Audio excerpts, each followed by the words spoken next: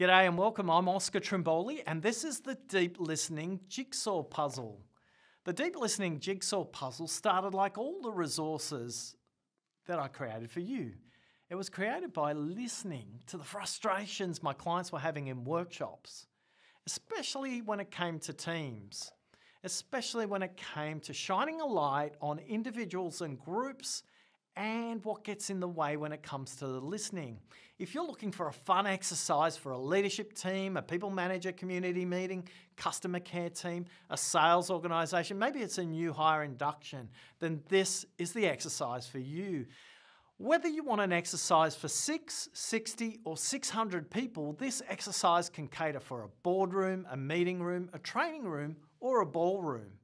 To access the deep listening jigsaw puzzle exercise, you will, however, need to complete the Listening Leadership Academy onboarding program so you can effectively use this exercise with your team.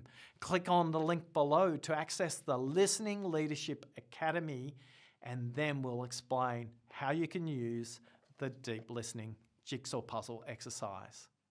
Thanks for listening.